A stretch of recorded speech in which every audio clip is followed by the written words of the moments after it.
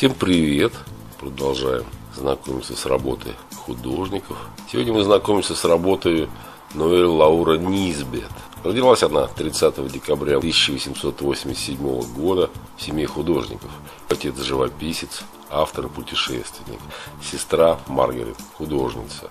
Семья Низбет переехала в Лондон из Шотландии в 1887 году. За время учебы в художественной школе Ноэль была награждена многочисленными премиями, золотыми медалями и была удостоена стипендии принцессы Уэльской. Я цитирую ну, немного данных из переводной Википедии. Данных действительно очень мало. Зато есть работы этой художницы.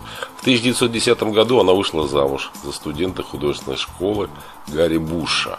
Обе сестры художницы Низбет имели свои собственные студии, то есть Маргарет и Ноэль. В 1914-1938 годах работы Ноэль экспонировались на выставках Королевской академии.